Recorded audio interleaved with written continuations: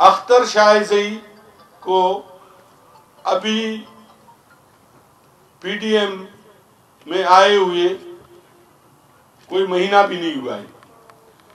एक औरत की तलाक भी होती है या उसका शोर मर भी जाता है तो वो अपना इद्दत पूरा करता है। अख्तर शाहजई की तो अभी इद्दत भी पूरी नहीं हुई है। मैं मेंगलों की बात नहीं करता हूँ। मेंगल बहुत बाइज्जत कौम है।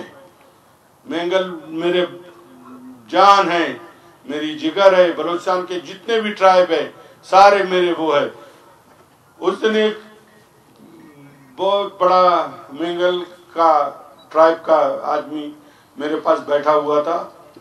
उसने कहा कि मेरे वालिद कहते थे कि ये चालाक लोमड़ी की तरह शाहजई है। शाहजी चालाक लोमड़ी की तरह है और लोमड़ी हमेशा बुजदिल होता है। और ये बुजदिल होते हैं, दूसरों को लड़ाते हैं, लेकिन चूँकि हम मेंगल, इनके जो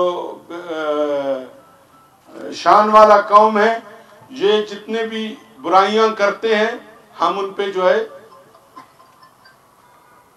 पर्दा डालते रहते हैं। और हम जो है, हमारे आड़ में ये जो है, आगे जाते हैं। और हकीकत इसमें कोई शक नहीं है। इसका दादा था रहीम खान। मेरे दादा नवाब खाम अहमद। उस वक्त के अंग्रेज़ साम्राज्य के खिलाफ जदोजहद करने वाले उनमें, मेंगलों में मीर कंबर मेंगल को पता होगा, उनके उससे। नूरा था, गाजी नूरा और ग्वाराम। गाजी अली दोस्त, सन्नाड़ी मीर वतार खान, शाहजई मीर रावत खान लोटानी ये सब उनके, उसके कमांडर्स थे। और वो अंग्रेज़ों के खिलाफ सफ़ा आ रहा हो के सफ़े बना रहा था और फ़र्स्ट वर्ल्ड वार होने वाली थी। इसके दादा को अंग्रेज़ों ने कहा, मैं तारीखी बात बताना चाहता हूँ, इसलिए कहता हूँ कि इसके साथ मेंगल कौम को जोड़ना मेंगल कौम की तोहीन है। मैं यही इसको मशवरा दूँगा कि अपने आप को शायजई लिखे, जो इसका वो है मेंगल अपने आप को न लिखी। तो फिर इसके, इसका दादा वहाँ पर एजीजी वहाँ पर गया, एजेंट टू गवर्नर जनरल, आजकल हमारा गवर्नर हाउस है जो, वहाँ उस वक्त कर्नल बैठा, बैठता था, उसको बोलते थे AGG agent to agent to governor general. वो वहाँ पर गए, वट में, उस इलाके में तो उसको कहा कि आप हमें भर्ती के लिए दें।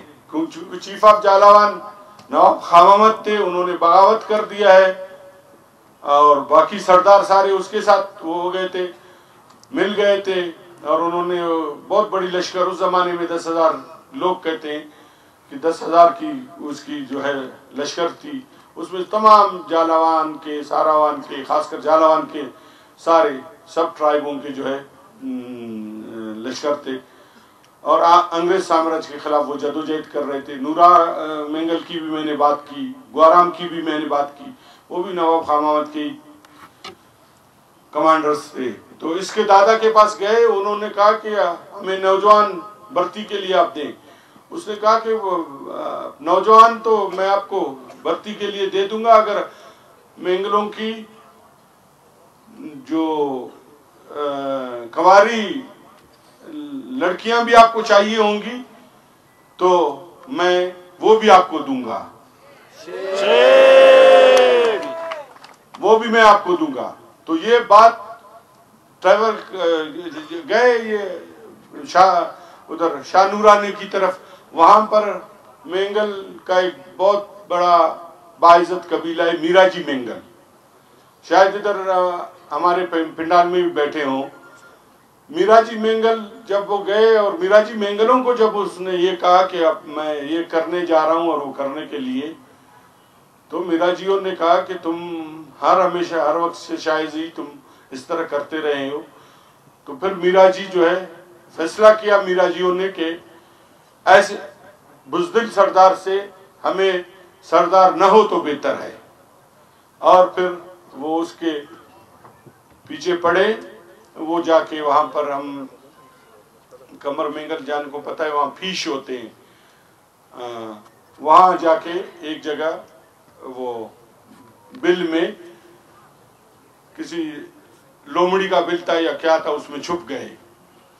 तो ये उसके पीछे आ रहे थे तो इसके पास एक कुत्ता भी था। तो वो कुत्ता वहाँ से टू टू टू टू कर रहा था भोंगता रहा था, जाता था उधर तक, फिर आता था इसके पास। तो ये समझ गए कि भाई ये रहीम खान का कुत्ता है तो वहाँ पर वो मिराजी मेंगल पहुँचे। ये नंगनाम उसकी बात करता है अख्तर। अख्तर शायजी नंगनाम उसकी बात करता है। शर्म आनी चाहिए इसको, ये बात। फिर वहाँ पर वो बागैरत मीराजियों ने उसको बालों से पकड़ा और कुलाड़ियों से और तलवारों से उसके टुकड़े टुकड़े किए। ये मैं आज आपको बता रहा हूँ, as a chief of Jhalawan. तारीख गवाह है इसकी। और भी बहुत से, जब भी खान खलात के साथ मसले हुए हैं, हर हमेशा इसने उसके पीठ में छुरा घोंपने की कोशिश की। हर हमेशा ये जाम के दरबार पे जो है पड़े रहे हैं और हमेशा उसका उसने साथ दिया है। तो मीराजियों ने, मीराजी मेंगलों ने इसके दादा को, रहीम खान को इस बुनियाद पर उस, कत्ल किया। कि तुम एक गलत काम कर रहे हो और तुम्हें नवाब खामामत के साथ इस वक्त होना चाहिए। और फिर वही नूरा ग्वाराम मैदान जंग में नवाब खामामत को महालाती साजिश के ज़रिए उसके भाई ने कत्ल किया और उसके बाद नूरा और ग्वाराम वापस उधर चले गए अपने इलाके में।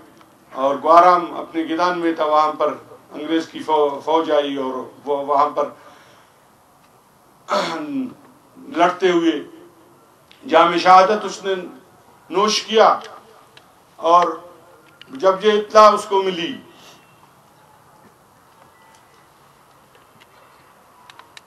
जब ये इतला मिली उसको नूरा को तो नूरा ने आके वहाँ अंग्रेज़ों के रास्ता रोका और उनमें से, अंग्रेज़ों से तीन चार उनके ऑफिसर टाइप के लोग थे।